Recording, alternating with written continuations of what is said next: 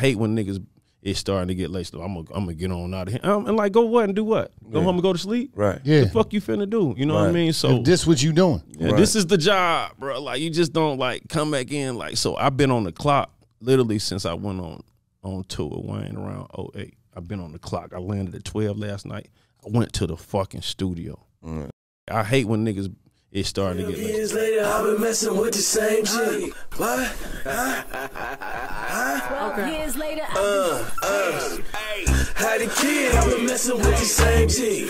Did a bid, I've been messing with the same chick. Twelve years later, I've been messing with the same chick. Twelve years later, I've been messing with the same chick. I had a kid, I've been messing with the same hitter. I did a bid, I've been messing with the same hitter. Twelve years later, I've been messing with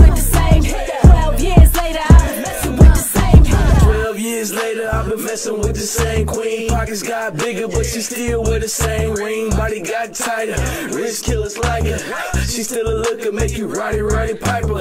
Twelve years later, I might miss the night or two. We was happy, we was sad, we was fighting too. Talking twelve years, yeah it is what it is. She was big, she was small, we done had a whole kid, no crib, whole crib. We was broken, had some bread. I didn't touch around the city, might have bust a hater's. I know you.